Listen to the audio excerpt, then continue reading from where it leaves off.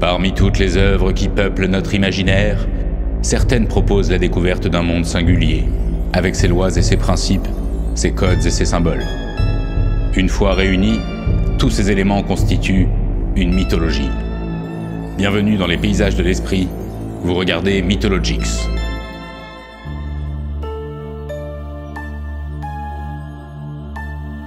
Si vous ne connaissez pas Freddy Parker, sachez qu'il existe en tout 9 longs métrages dans la franchise. Les 6 premiers s'inscrivent dans une histoire suivie et cohérente, et le 7 est une mise en abîme à la Wes Craven. Les opus 8 et 9 sont respectivement un crossover et un remake.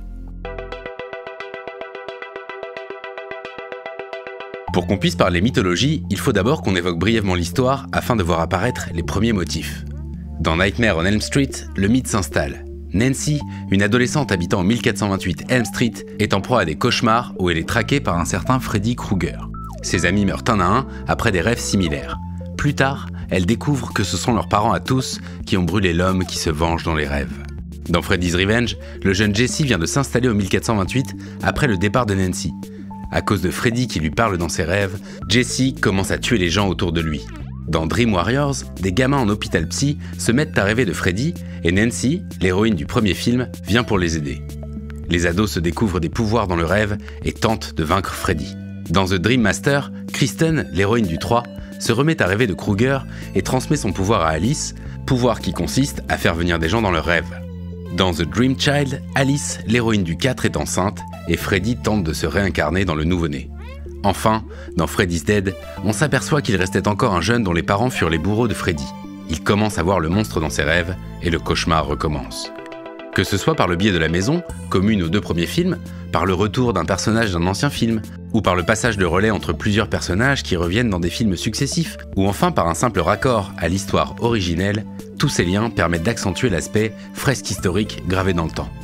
Cela traduit un vrai souhait des auteurs de faire vivre un univers cohérent et suivi, ce qui nous permet de considérer l'œuvre comme un espace mythique à analyser. Chaque film présente une structure quasi identique. Freddy trouve d'abord un moyen pour réapparaître, il tue ensuite des adolescents, mais une héroïne se révèle et finit par le faire retourner d'où il vient. Au cours des films, on va découvrir peu à peu plusieurs arcs narratifs. Celui sur Freddy en tant que monstre, celui sur le passé de Fred Krueger quand il était humain, et enfin l'arc sur son origine mythologique, celui des démons du rêve. Et ce sont précisément ces arcs narratifs parfois obscurs qui nous intéressent et qui vont constituer la mythologie krugerienne. Freddy, comme tout monstre de légende, possède un look identifiable qui lui est propre. Un pull rouge et vert, abîmé et sale, un chapeau marron sans forme et une peau brûlée au dernier degré. Il a certes essayé de porter un impair une fois, mais cela s'est soldé par une faute de goût. Mais ce qui rend Freddy si iconique, c'est ce gant de cuir armé de lames tranchantes. Kruger est un monstre incroyablement pervers et sadique, avec un penchant prononcé pour l'automutilation. Dans le premier opus, il se taillade le torse, ce qui laisse apparaître une substance purulente et des asticots, comme s'il était un mort-vivant. Mais le design de son torse va évoluer au cours de la série pour nous proposer une trouvaille démente, le torse des âmes. Le buste de Freddy serait composé des âmes tourmentées de ses victimes, qui lui permettent de prendre forme. On touche ici à une constante de la saga, Freddy a besoin de carburant pour exister. D'abord, il se nourrit de la peur qu'il suscite chez les jeunes et se repète ensuite de leur âme pour devenir plus puissant dans les rêves. Dans un épisode, ce carburant se retourne contre lui et Freddy se fait déchirer par les habitants de son corps qui, une fois libérés, s'évaporent dans les étoiles. Mais Freddy Krueger ne ressent pas la douleur et il aime à le montrer. Qu'on lui arrache le visage, qu'il mette son cerveau à nu ou qu'il se coupe un doigt, Freddy se contente d'un éclat de rire masochiste et malsain. Impossible de le blesser avec une arme quelconque. Par contre, le brûler dans les flammes ou asperger ses restes d'eau bénite semblent être ses deux points faibles principaux. En plus d'être un monstre immortel qui ne connaît ni peur ni limite, Freddy est doté de pouvoirs qui élargissent encore un peu plus la menace absolue qu'il représente. Dans le cauchemar, il peut agir sur la physique selon son bon vouloir, peut allonger ses membres, se rendre invisible, transformer la matière. Mais Freddy peut aussi modifier l'apparence du cauchemar en un clin d'œil, en projetant des images et des situations infernales à sa victime.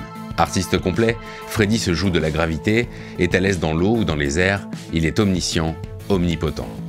En tant que monstre des rêves, il connaît la moindre de vos peurs et vous les fera vivre au centuple. Mais ce qui rend aussi Freddy culte, c'est son pouvoir de transformation.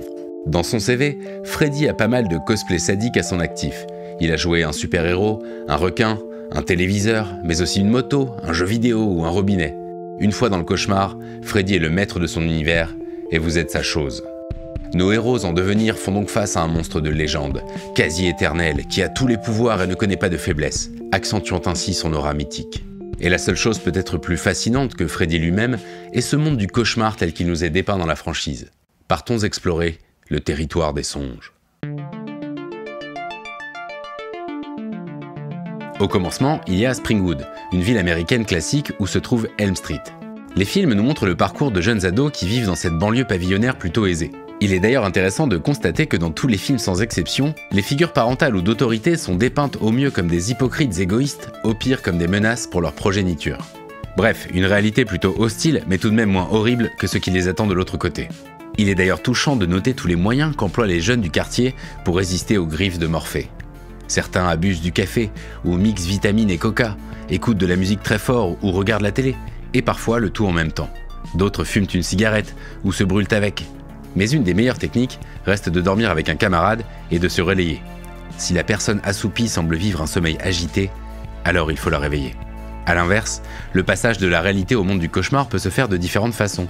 On a tendance à retenir que Freddy vous attrape seulement si vous vous endormez, mais en réalité les moyens sont multiples. Le plus répandu est bien sûr le sommeil naturel classique. Mais si par exemple vous perdez connaissance, l'accès au cauchemar est possible.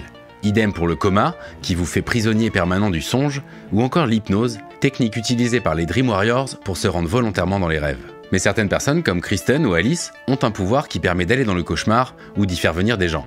Certaines choses peuvent être ramenées du rêve dans le réel, comme par exemple le chapeau de Freddy ou un bout de son pull. Certaines séquelles de ce qui s'est passé dans le rêve peuvent persister, par exemple des brûlures ou des morsures. Quoi qu'il en soit, une fois que les ados se mettent à rêver, ils franchissent la barrière du sommeil. À cet instant précis, les films nous racontent que deux choix sont possibles. Soit vous allez dans le monde du rêve, soit dans celui du cauchemar. Or ici, le cauchemar pourrait être décrit comme un millefeuille de scénarios possibles propres à chacun. Mais dans une des strates de ces mauvais rêves, il existe le plan personnel de Freddy, le cauchemar où il règne en maître. C'est donc dans cette dimension que les jeunes vont se retrouver piégés et c'est elle qui nous intéresse. Le cauchemar est un lieu difficile à cartographier car c'est un monde changeant qui évolue en fonction des envies de Freddy et de la personnalité de sa victime. Le cauchemar selon Freddy est donc une sorte de chemin de croix qui suit un certain pattern, un motif récurrent. Quand les jeunes entrent dans le cauchemar, au début ils ne se rendent pas compte. Ils évoluent alors dans une sorte de Springwood alternatif. Et soudain, un élément incongru ou inquiétant se manifeste qui nous indique que nous sommes en train de rêver. Alors Freddy n'a plus qu'à ouvrir un portail pour vous attirer dans sa dimension personnelle. N'importe quelle paroi ou surface permet de créer cette brèche. Les exemples sont multiples. Freddy dilate les murs, vous attire dans les tréfonds cachés sous votre baignoire ou derrière votre douche, vous capture via un téléviseur ou se sert de votre lit comme d'un vortex vers une dimension cachée. Mais le croque-mitaine peut aussi vous attirer directement dans sa dimension en modifiant soudain un aspect de la réalité.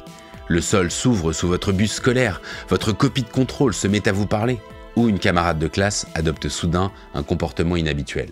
Une fois que vous quittez le premier stage du Springwood alternatif, Freddy vous attire dans son domaine de chasse privatif qui peut prendre plusieurs formes. Soit Freddy vous amène dans la version cauchemardesque du 1428, soit dans une sorte de labyrinthe qui mène à une chaufferie. Mais dans ses rêves lucides, d'autres lui reviennent comme l'asile psychiatrique de Springwood ou encore sa chapelle. Ce sont des lieux iconiques du passé de Freddy et c'est au cœur de ceux-ci qu'il exerce sa vengeance. Là où les choses se compliquent, c'est qu'il semble que cette dimension krugerienne dispose d'un passage direct vers l'enfer, celui-là même où règnent démons, diables et pécheurs. En effet, dans plusieurs cauchemars, on nous laisse deviner des accès directs vers les limbes, par le biais de canaux vertigineux et maléfiques. Quand Freddy nous emmène au cœur de son cauchemar, le trajet progresse sans cesse vers le bas, vers les profondeurs, ce qui accentue discrètement cette idée de descente vers les abysses enflammés. Souvent, lorsque Freddy approche, les choses se mettent à fondre, comme si vous étiez englué dans un sommeil infernal. Il existe deux histoires de Freddy, l'une biographique et l'autre légendaire. Pour ce qui est de la biographie humaine de Fred Krueger, les éléments nous sont donnés dans les films, mais dans le désordre et de façon morcelée.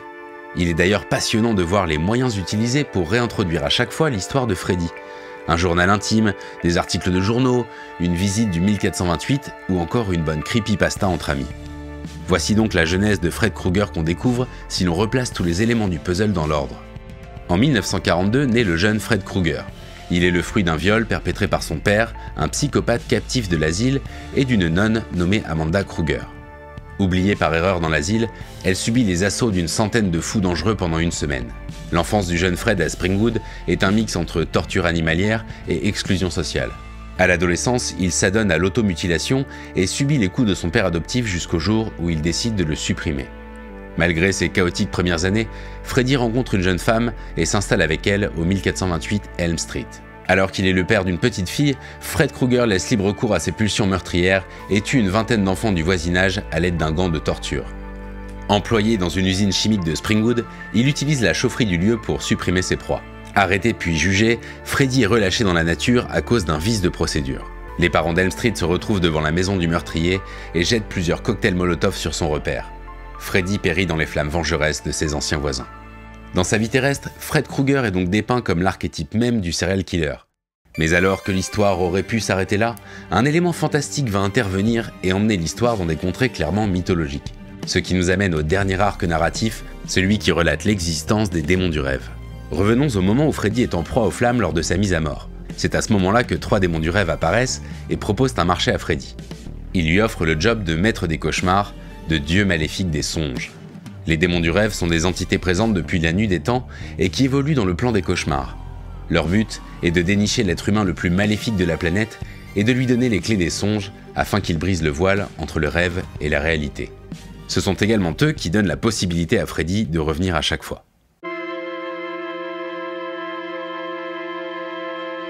Ce sont finalement les références symboliques disséminées dans les films qui servent le mieux cet aspect mythologique, en convoquant des images archétypales et universelles. Les films citent aussi Shakespeare, Kafka, Nietzsche, Edgar Poe, etc. Toutes ces citations sont des invitations à faire marcher l'inconscient, l'imagination et la symbolique. En fouillant dans les films, on trouve un certain nombre de motifs récurrents qui infusent certaines idées ou symboles qu'on ne remarque pas forcément au premier abord. Le miroir est l'un des motifs récurrents de la saga, et notamment avec le personnage d'Alice, qui les utilise pour passer dans l'autre monde. Mais la symbolique du miroir se prête parfaitement à l'univers du cauchemar. Le miroir peut être perçu comme un anti-monde inversé, un reflet de notre individu, une des rares occasions où il nous est permis de sonder notre âme. À l'instar des cauchemars de Freddy, on y trouve ce qu'on y apporte, on fait face à ce qu'on est. Le labyrinthe est un second motif plus discret qu'on devine dans tous les Freddy. Dans la mythologie grecque, le labyrinthe était le palais du Minotaure, monstre anthropophage mi-bovin mi-humain, auquel étaient livrés chaque année sept jeunes femmes et sept jeunes hommes en sacrifice. Le fait que les parents préfèrent sacrifier leurs enfants à Freddy plutôt que de reconnaître leur culpabilité, les victimes qui se retrouvent sans cesse dans le dédale métallique de la chaufferie, le monstre sanguinaire qui les traque impitoyablement. Le mythe de Freddy présente donc beaucoup de points communs avec celui du Minotaure. Mais par extension, le labyrinthe est aussi le symbole de l'introspection, de la quête intérieure, un peu à l'image de ces jeunes perdus dans les méandres de leur psyché, traqués par un mal qui les détruit. C'est enfin le symbole du parcours initiatique, celui qui emmènera nos protagonistes vers la victoire sur le monstre intérieur. Traversant toute la saga, le feu est plus qu'un motif récurrent dans les Freddy, c'est carrément un élément constitutif de la mythologie de l'homme au pull rayé. Il est né par le feu et périra plusieurs fois par le feu. Cet élément possède une symbolique double, à la fois positive et négative, destructrice et créatrice. On pense aux flammes de l'enfer, à celles de la guerre, au bûcher des sorcières et des hérétiques. Mais le feu est aussi purificateur, il nous apporte chaleur et lumière. C'est aussi le feu originel de la création. Ces deux sens sont présents dans les Freddy et permettent de rattacher le monstre à un élément fondateur de la vie et de la mort. Enfin, les films sont traversés de références religieuses. Au début un peu moralisatrice et puritaine, la religion nous est présentée comme un rempart contre le mal. Dans le cauchemar, des enfants habillés de dentelle blanche fredonnent une comptine inquiétante. Dans une des strophes, il est dit Attrape ton crucifix pour éloigner Freddy, comme s'il était un démon qu'on pouvait exorciser. Un curé présente même Freddy comme un châtiment divin, ou encore comme le diable qui prendra votre âme si vous fautez. Lorsqu'enfin Freddy meurt dans les flammes, il brûle et se met à fondre pour laisser révéler un démon à cornes. Est-ce donc le diable lui-même ou un démon quelconque? Il correspond bien en tout cas à l'image qu'on s'en fait. Les symboles de la pomme et du serpent, témoignant de la mort de l'innocence, sont également des références assumées par Craven. Cette volonté de rattacher le récit à la mythologie catholique pour faire de Freddy un équivalent du malin permet de raccorder le mythe krugerien à un ensemble plus ancien et plus universel. Des figures héroïques, un monstre divin légendaire, un territoire imaginaire offrant tous les possibles et toutes les horreurs, la convocation de mythes plus anciens comme les enfers, la mythologie antique ou les grands auteurs. Autant d'éléments qui offrent une véritable fresque mythologique. avec laquelle on pourrait encore écrire des dizaines de films. Le vrai génie de la mythologie krugerienne est d'avoir investi le monde du rêve comme un paysage dans lequel raconter des histoires. Tout le monde rêve.